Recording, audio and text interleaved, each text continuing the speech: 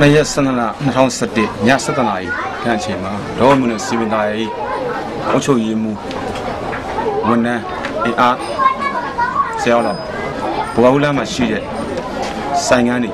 လမ်းမစည်းတယ်ပေါ့သူတို့ဆိုင်ငန်းလို့တတ်မှတ်တာပေါ့ဒီလူတွေကိုသူတို့ကလမ်းမကိုရှင်းဖို့တက်ဆိုတဲ့အကြောင်းပြချက်နဲ့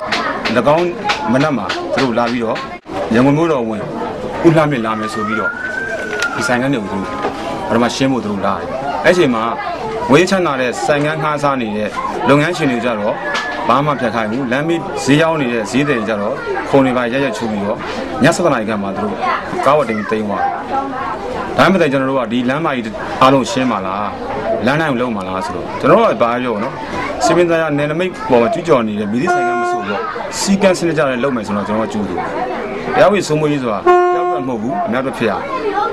ဒါနဲ့ပတ်သက်ပြီးကျွန်တော်ပြောတဲ့အခါကျကျွန်တော်စီမင်းကဝန်ထမ်းတွေကမှန်တမ်းတက်ပုံလိုက်ကျွန်တော်ပြောလိုက်ပါကျွန်တော်နာမည်နင်းကျော်လို့ခေါ်ပါတယ်လိုအပ်ရင်အချိန်မီဆက်သွယ်ဆောင်ရွက်နိုင်တယ်ကျွန်တော်ရုပ်ကမှနေတော့ကျွန်တော်ဒါလည်းကျွန်တော်ပြန်ထွက်လာတယ်ထွက်လာပြီးချိန်မှာကျွန်တော်ကိုဘာထပ်ပြောလဲဆိုတော့ရဲကင်းမှုတော့ခေါ်တဲ့ဖမ်းမယ်စီးမယ်ပေါ့ဖမ်းလို့ရစီးလို့ရတယ်ဒါပေမဲ့တရားဥပဒေတိုင်းတော့ဖြစ်ဖို့လိုတယ်ဒါပေမဲ့သူတို့ကျွန်တော်ဝတရားနှောက်ယှက်တာမလုပ်ပါနဲ့လို့ပြောနေရမို့စီကန်းစနစ်ကြနဲ့လုပ်ဖို့လိုတယ်အဲဒါ ဒီနေ့ဘာပတ်ဝန်းကျင်မှာစနစ်ကြနဲ့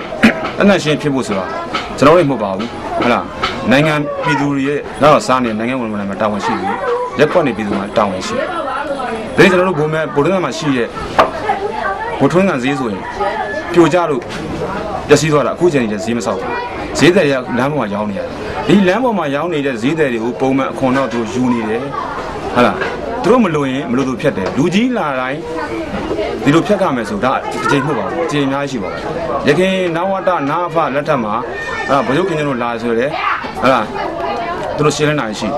အဲ့လိုရှင်းလင်းအခုပုံမျိုးနဲ့အခုရှင်းလင်းပုံကမတူဘူးဒီဒီမိုစီအစိုးရလို့ခေါ်နေတဲ့အချိန်မှာဒီလိုလုံးမြတ်မိုးတာအကြမ်းဖက်တဲ့လုံးရမျိုးတွေပုံစံနဲ့ဖြစ်နေဒါမင်းမဲ့ဆက်ဆန် အယောင်ဝင်လိုင်စင်ရလူစိုးအုပ်စုလူငန်းကားတို့ဘက်ကိုဖွင့်ထားတယ်ကျွန်တော်ခက်ဆောက်ကြောင်းမီဒီယာပါတယ်ဟာလာစွမ်းရင်ခက်ဒီပရိုဂရမ်မှာတို့က